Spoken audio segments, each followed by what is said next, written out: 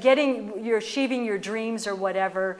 Um, I've just been amazed at the synchronicity that's really been occurring in my life, and I feel that my level of happiness has really increased. Not to say that I haven't had, uh, you know, a few bad days or a few, you know, squabbles here and there, but overall, I, I feel totally blessed in uh, radiance. What a thing to say, radiance. If you think of the word radiance, it's like raw, you know, the sun, um, you know, the seven rays in the spectrum. So raw food is colorful and probably the biggest doctrine of signatures, the simplest thing uh, that I use almost all the time is the life force because if you were to plant a raw sunflower seed and water it, it has the life force to grow into an eight foot tall plant. You know, one of the most beautiful, majestic, fragrant plants.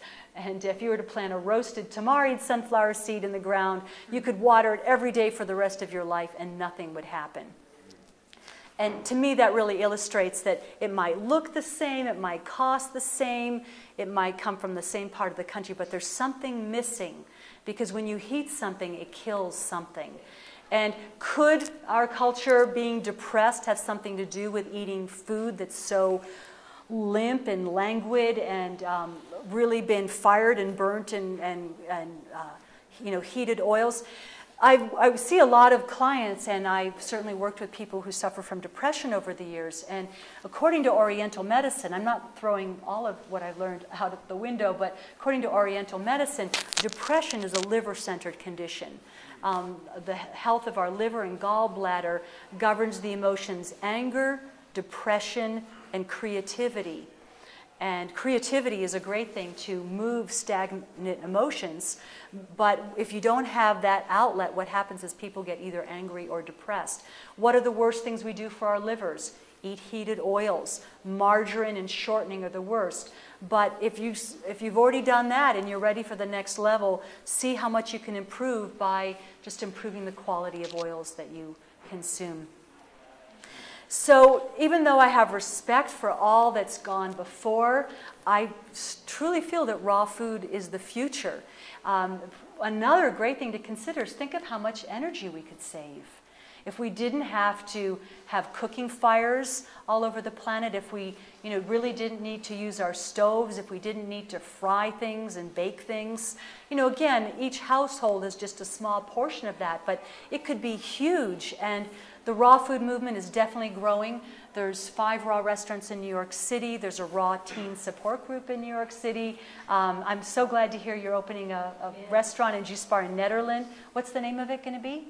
Um, it's called the Peak Experience. The Peak Experience, okay. Yeah, it's, it's, it's, within a uh, health and fitness center called Peak. Okay and uh, Southern California has a number of them, and uh, even Anchorage, Alaska has a raw foods restaurant. Min Minneapolis. So the other thing is, won't I be cold in winter? That's the other thing that people always say, and yet the wild animals don't eat cooked food, and the animals that do eat cooked food need to go to the vet. So think about that. Um, you know, and, and yet you know, I mentioned the thing about the, the wild game as, as being a factor, that perhaps they're eating uh, food that's not really natural to them. So won't I be cold in winter? I used to freeze in winter, and now I'm warmer. And so much of uh, Chinese medicine is about um, helping to improve your blocked qi. Have you heard that term before? Qi is life force, and you go and you get acupuncture needles stuck in you because you have blocked qi. Well, if you're eating raw food, the qi isn't blocked. It's moving right along. Your, your colon is moving, the blood is moving, your breath is moving. There's, the blockage is a lot less likely to be happening.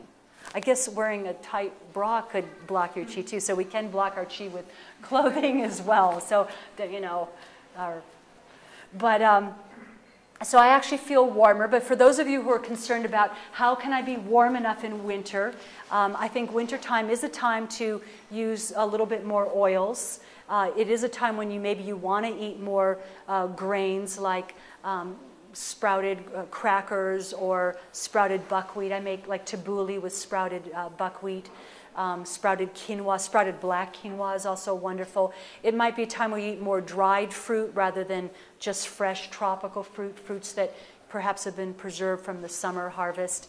And the color, uh, the colors red and orange are very warming. So this is also a good time to eat warming orange uh, hued foods like winter squash, pumpkin, uh, carrots, sweet potatoes, and they can all be eaten raw.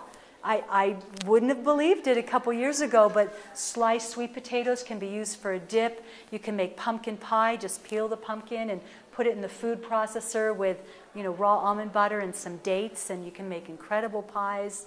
Um, even winter squash can be prepared the same way. And uh, you know, gets a little bit of sunlight every day. Uh, go out, you know, it doesn't mean like you're going to go sunbathe, but just 20 minutes of full spectrum light can be very warming. You can also warm yourself with spices. And uh, one of my teachers, Victoria Boutenko, uh, said that she had an acupuncturist in, his, in her class, a Chinese acupuncturist, and he felt that the uh, saying that you have to eat your food warm was really a mistranslation and that it meant you needed to warm your food with spices, not warm it on the stove with cooking it. So, some of my favorite spices to add warmth are cayenne, ginger, cardamom, uh, black pepper. Uh, I said cinnamon, cinnamon and ginger twice. They're so great. But um, a lot of our culinary herbs, even oregano and marjoram, garlic, horseradish, onions, all of those have a wonderful warming quality to them. So it's really not that hard to do. And I'm amazed that I'm actually warmer. And when people say, won't you be cold in the winter? You know, ask them if like, do you eat cooked food in the summer? Won't you be hot? And usually that, you know, kind of makes people realize like, don't, don't worry about that so much.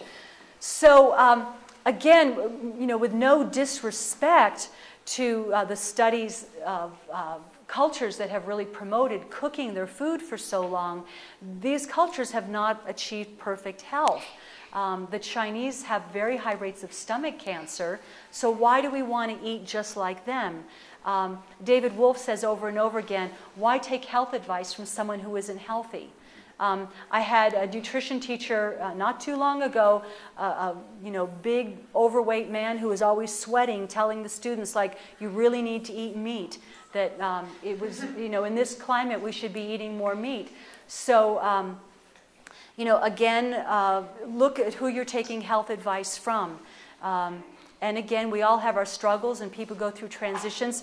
When I became raw, I certainly went through some uh, cleansing reactions where things got worse before they got better. That's certainly possible to happen, but rather than saying, oh, this means I'm supposed to go back to eating cooked food, I would see it as an opportunity to say, um, what is this trying to tell me?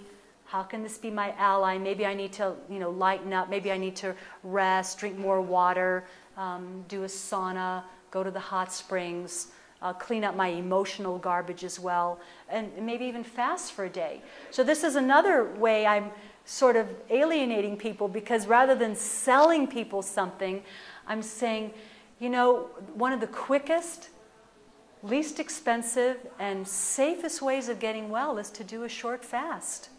And it doesn't cost anything. Um, so Again, you know, there's not a big markup on produce. Produce is probably the lowest markup item in a store. There's a lot more markup on everything else. So you're not going to see that much research being done on let's do a study and show that, you know, eating, an app, eating three apples a day can lower your cholesterol. I actually tell my clients that now. Yeah, you can take hawthorn berry tea and you can use garlic. You should eat less red meat, but eat three apples a day. That's a great way to lower your cholesterol. Um, so, most of the food is delicious. That's another great reason. I actually, for this group of 17 people yesterday, I actually tried out a lot of recipes on them for the first time that I'd never made before, and they still all were good. You know? And colorful and different textures. I mean, it didn't. It looked like a gourmet meal. If you hadn't told me it was raw, I never would have guessed. Thank you. You have a question? Yeah, I, I guess everything makes sense with the natural side of it and everything, and seeing people who live on this, it makes sense. I'm wondering if the mechanics involved, having to get, you know, at least one one piece of machinery getting um, like food processor? Is there is there alternatives, or is it just more like just a labor intensive uh, alternative? Um,